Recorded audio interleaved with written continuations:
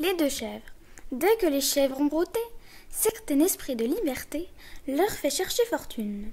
Elles vont en voyage vers les endroits du pâturage les moins fréquentés des humains.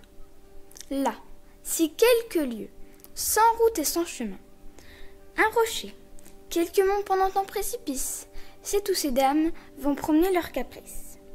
Rien ne peut arrêter cet animal grimpant. Deux chèvres donc, s'émancipant. Toutes deux, ayant patte blanche, quittèrent les bas prés, chacune de sa part. L'une vers l'autre allait pour quelque bon hasard. Un ruisseau se rencontre, et pour pont, une planche. Deux belettes à peine auraient, auraient passé de front sur ce pont. D'ailleurs, l'onde rapide et le ruisseau profond devaient faire trembler de peur ces Amazones. Malgré tant de dangers, l'une de ces personnes pose un pied sur la planche, et l'autre en fait autant. Je m'imagine voir avec Louis le Grand Philippe IV qui s'avance dans l'île de la Conférence.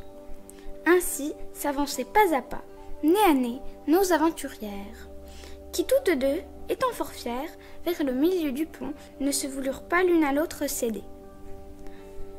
Elles avaient la gloire de compter dans leur race, à ce que dit l'histoire.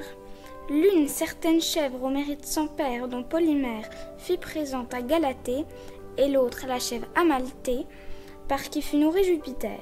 Faute de recul, leur chute fut commune. Elles toutes deux tombèrent dans l'eau. Cet accident n'est pas nouveau dans le chemin de la fortune.